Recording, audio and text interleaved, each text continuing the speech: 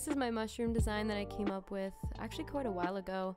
I wanted to put it on the back of a jean jacket, paint it, and I never did anything with it. So it kind of just hung up on my fridge for a while, and I was like, this is a perfect design for a rug.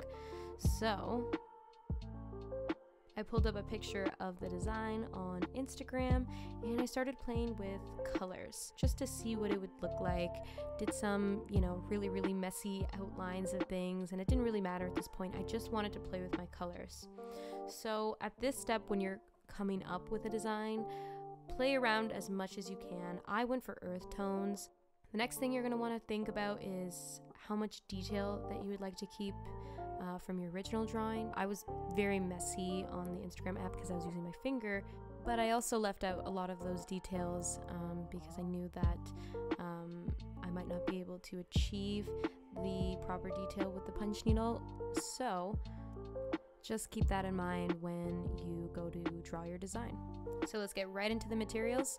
Of course, you'll need your punch needle, you will need uh, some monk's cloth, you'll need some fabric for the back of your rug. I just used whatever I had around my house, uh, a sharpie, pair of scissors, measuring tape, staple gun with your staples. You'll need some spray adhesive to put on the backing of your rug.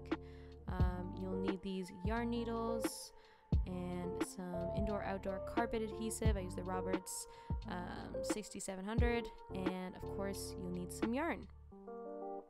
You will also need a punch needle frame, and lucky for you, I actually have um, a YouTube video on how to build a frame. So go and check that out. I'll leave the link in the description below. So once you have your punch needle frame ready, You'll grab your monk's cloth and start cutting it out to the right size that you'll need for your frame. Make sure it's a little bit longer on each side. I would say about two to three inches. Then what I'm doing here is actually just placing the monk's cloth on top of the tacks so that they start to grip and starting to stretch.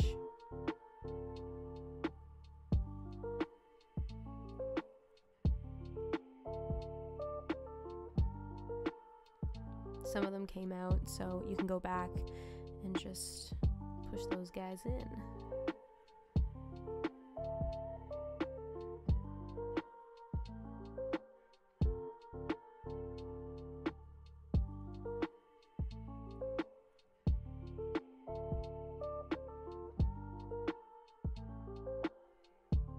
So I just did those two sides. You'll see that there's a little bit, there's a couple lines there and those will go away as soon as you turn it and do the other sides.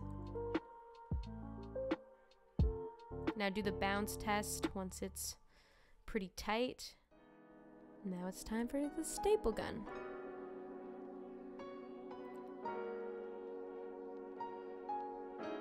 Made a little bit of an error here.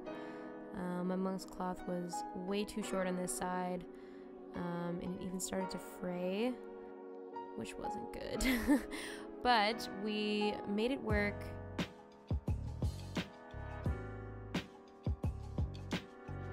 And there we are. It's looking real pretty ready to go. So now we're going to head to Rasterbator and this will actually help you blow up your design into a poster instead of going to Staples or somewhere to professionally get it printed out so that you can trace it onto your canvas.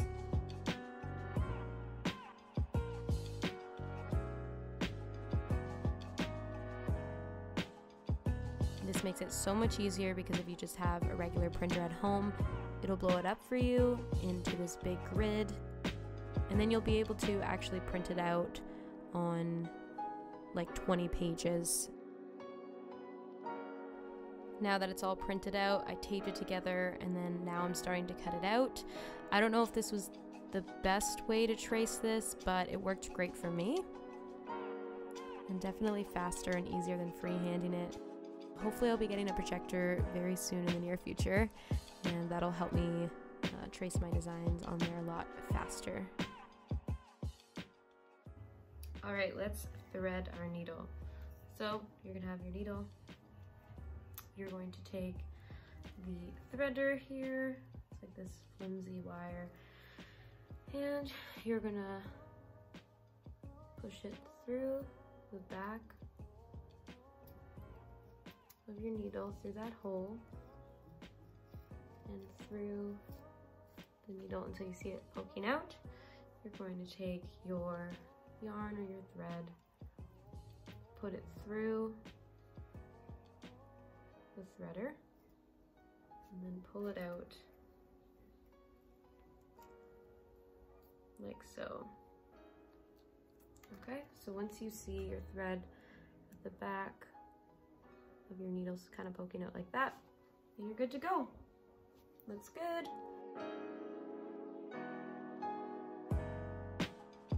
By now you should have your punch needle threaded uh, with your yarn and we're gonna go ahead and start punching. Make sure the hole is always facing in the direction that you want to go. We're gonna punch in on an angle.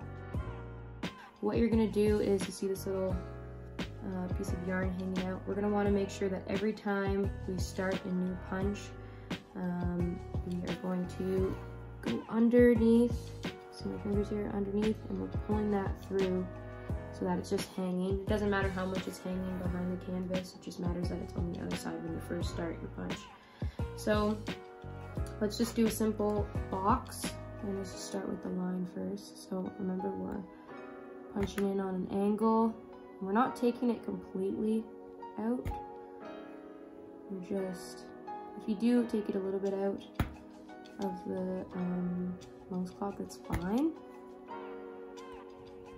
nice and slow.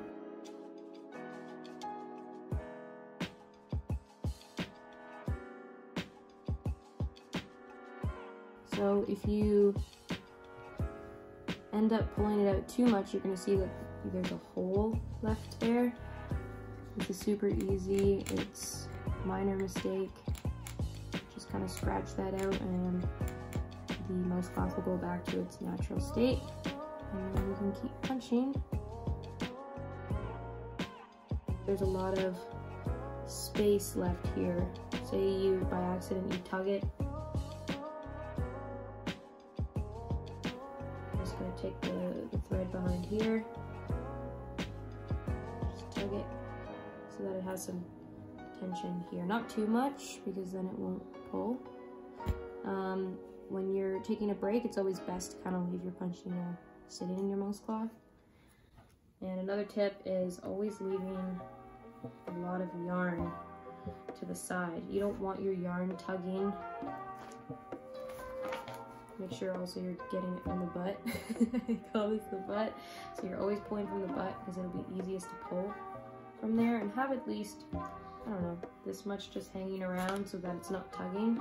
So I'll show you what will happen if it tugs. So for example, I'm tugging on it. Keep going you'll see.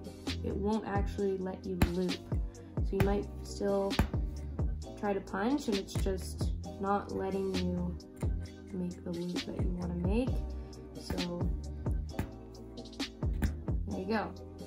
While we're in the monk's cloth, we're going to want to turn and then keep going.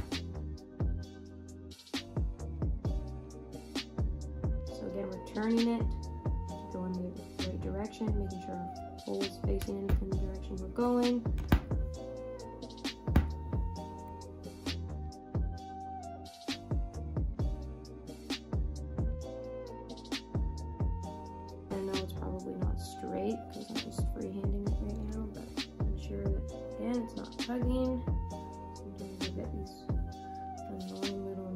That you have to deal with. So we're at the end of our rectangle and we're wanting to finish this rectangle and go on to another part or we're just done for the day.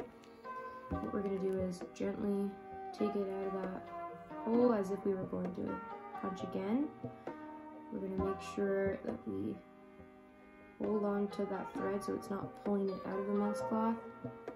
And then we're to take some scissors which I don't have right now in front of me and just snip it and then you're done. You can leave it as long as you'd like um, and that's it.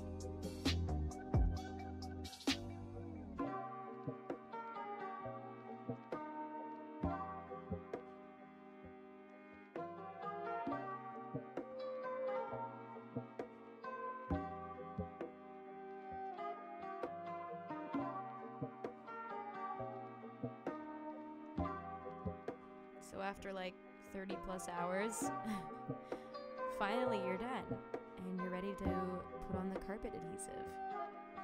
This is going to bind all of the yarn together so you won't have any loose yarn.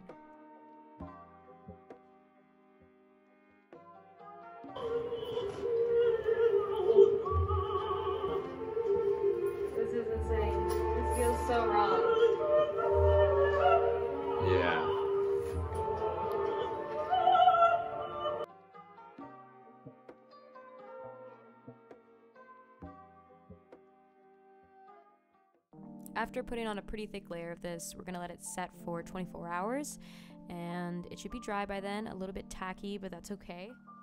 Make sure this is drying in a very well ventilated area. Um, it does have toxic fumes, so you should not be breathing this in.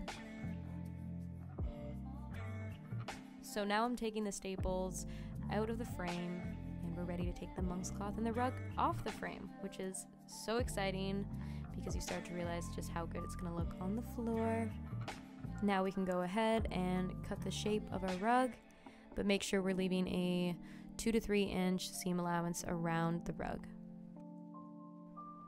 And then we're gonna go ahead and cut some slits into the monk's cloth so that when we glue it to the back, it actually glues on a rounder edge. You'll see when we start gluing it down with some hot glue just how much nicer it ends up looking.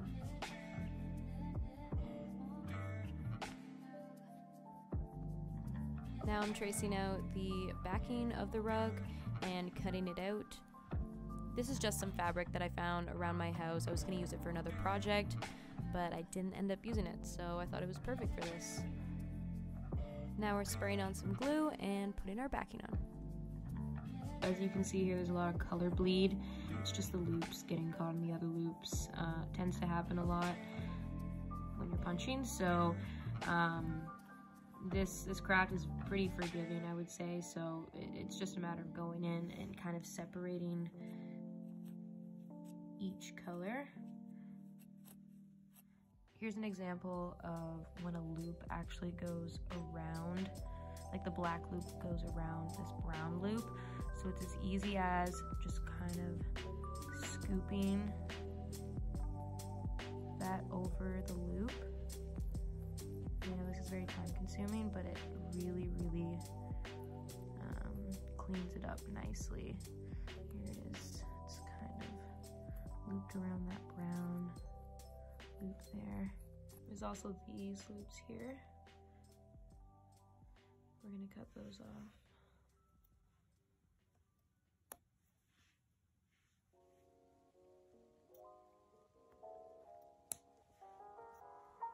This is just gonna make our carpet look perfect. I am so, so happy with how it turned out. I really was doubting myself for a minute there. I did not think that it was going to turn out as clean as it did, but I'm so excited to continue learning how to punch and creating new designs.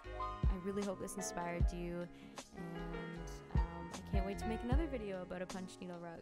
I think I'll be making more for sure, so um, stay tuned. Please like this video if you enjoyed it, and subscribe, and I'll see you around.